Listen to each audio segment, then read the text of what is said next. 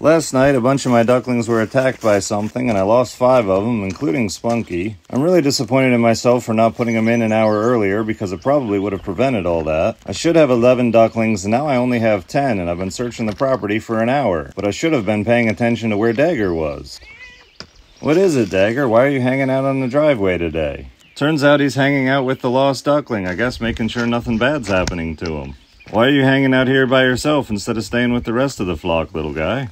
Everything seems fine on the surface, but his behavior is abnormal, and so there's got to be something wrong. Maybe stress from everything that happened last night. As we were walking back, he got tired and ended up sitting down, so I carried him the rest of the way. He just doesn't have the energy he should, and that's not a good sign at all. Being 250 feet away from everything else is just a terrible place for a duckling to be, so I'm going to bring him into the coop and give him some fresh water and food.